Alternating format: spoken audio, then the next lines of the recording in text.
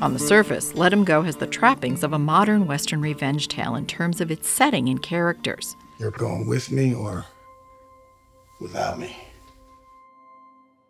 I saw exactly what I've always felt about Donnie Weboy.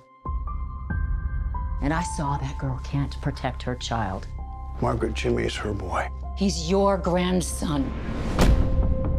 But what makes it more interesting is that instead of focusing on male characters, it focuses on women, specifically mothers, and the different ways that love drives them. The film's absolute best scenes involve the confrontations between Diane Lane's Margaret and Lesley Manville's Blanche. My boy doesn't have to answer to you. And we don't have to answer to you. Whoa.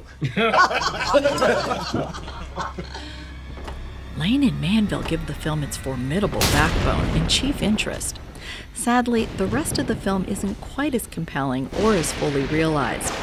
But it's rare to see women dominate a Western, and this one's worth checking out, even though it's sometimes pedestrian in its execution. Beth Accomando, KPBS News.